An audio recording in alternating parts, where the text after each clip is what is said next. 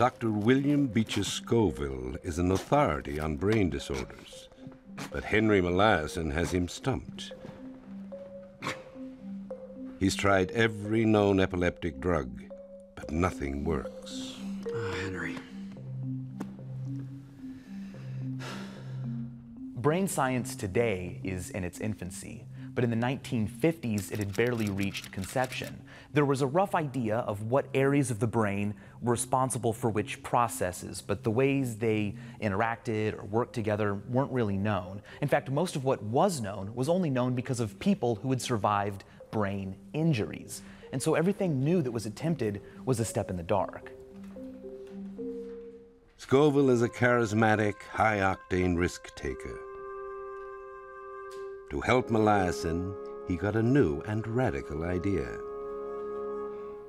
It's ruining my life, Doc. I'd like to try something, Henry.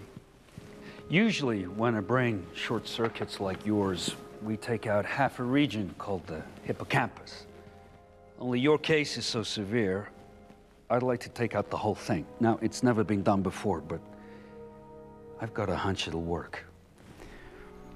It's thought that some epileptic seizures may be caused by an excess of the neurotransmitter glutamate in the brain. Now, when there's too much glutamate, an excess of calcium is released, and inside the brain, that can be very dangerous. Now, the hippocampus generates glutamate, and so removing it should decrease calcium levels and decrease the frequency of seizures. Uh, I don't know, Doc. Sounds kind of risky. Life is risk, Henry. And to be honest, with the life you have. Bob!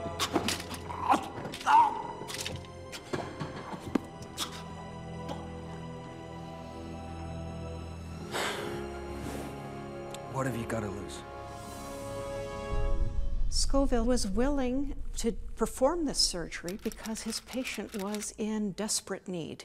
He had very uncontrolled epilepsy. He had very little quality of life. Still, he was playing a little bit fast and loose because he didn't know what the outcome would be.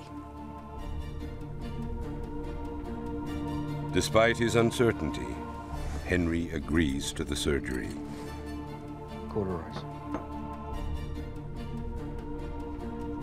Dr. Scoville burns out Henry's entire hippocampus. Time will tell if he is being bold or reckless.